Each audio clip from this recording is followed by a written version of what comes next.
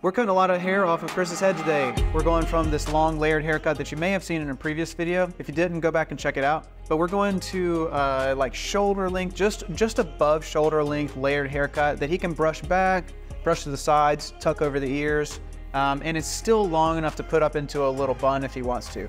So in this video, I'm gonna show you how I think through setting the length for this haircut, how I think through the cut, I'm gonna show you how I actually do cut it, and then I'm gonna show you how I style it, and a couple of tips I have for finishing this haircut off uh, really nicely. First thing we need to do is get it ultra saturated. We want the hair soaking wet to cut it. And I'm starting off with this radial parting. Um, the back of the head is gonna be where most of the layers happen.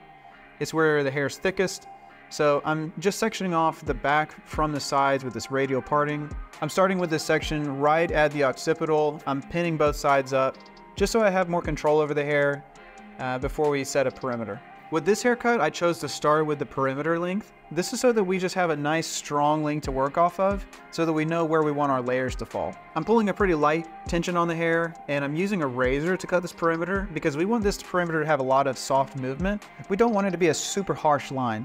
So I'm using these like longer strokes with the razor and what that does is it, it breaks up all the hair and uh, just lets it lay a little bit more staggered. So now we need to pull another section down. I can see that it was gonna be too thick to try and pull all of that down and cut the line. So we're gonna work up in sections. Now we're just connecting that perimeter line uh, with the razor. And you know, let's think about what if we just stopped here. If we just stopped here, we'd have, uh, we'd have a pretty heavy haircut. Um, this would fall pretty flat. You know, there wouldn't be much wave in it. There wouldn't be much movement in it. You know, it's an option, but it would just be a really heavy bob, and that's not really what Chris is going for. So now we can pull those final pieces down and connect those to the perimeter. If you want to see haircutting tutorials we do online, but that are at a regular pace, that are way more in depth, uh, head to our site, click on education, and join the waitlist. We're going to be launching enrollment soon for our online education platform. Now that we've completed the back, we're just pulling down some of the side to create this perimeter along the sides. This is such a visual process. I'm, uh, I'm just pulling a guide from the back and I'm assessing where I want this to fall. And then with each progressive section, I'm just matching it to the line. Now we're just gonna repeat the process on side two.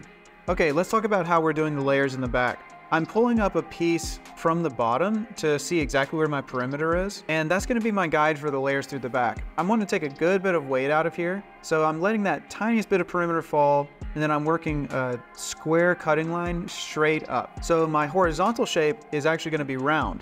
So as we start working around the head, I'm pulling out right in the center of each of those sections because we don't want to maintain too much weight in the corners here. He has a ton of hair, so we want this to be a little bit more even all the way around. So as you can see here, I'm working these vertical sections, pulling out a nice clean line, but I'm coming straight off the head so that the back gets a ton of a layering treatment, um, just to get a lot more movement back here. Now, we don't really need to do this much to the sides, so you'll see how we do that as we go to the top. Now we're gonna connect the top to the back, and this is to remove some weight from the center. And this is gonna take out all of the weight we need on the sides too. So I'm actually not gonna use any panels on the sides. So I'm starting with a central profile guide, working it pretty square. Um, it rounds a little bit towards the back. As you can see here from this side view, I'm pulling up to a stationary guide that's sort of my last section on the side of the head.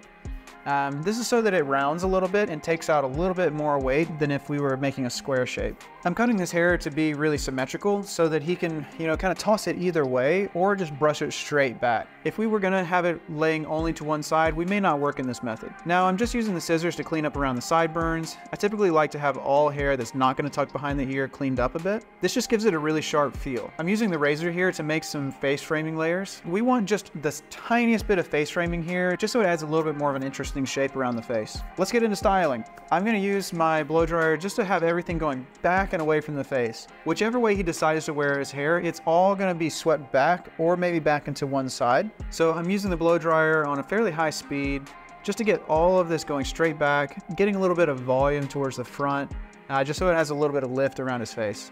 Now in the back, I wanna have a little bit more wave, so I'm using my diffuser. I've clipped all of this back so it's gonna stay in that backward motion. Now here you can see I'm using my razor just visually, just to kind of clean up the perimeter, clean up the final look. The only product I would use here is just like a light styling cream. Um, we really don't want anything too heavy here.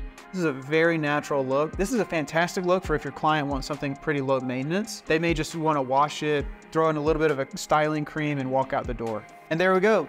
So you can see it's super easy to tuck behind the ear, lays back really nicely, but it's not like a heavy bob. We got one more video with Chris where we take him from this length to very short. Stay tuned for that one, it'll be dropping soon.